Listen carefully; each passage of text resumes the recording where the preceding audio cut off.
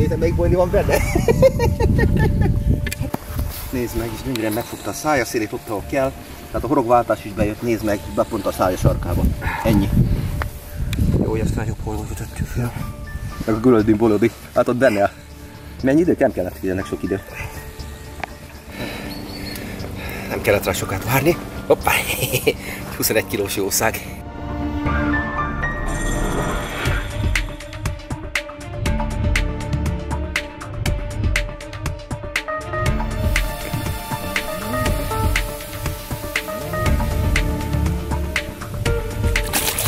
Hehehehehehehe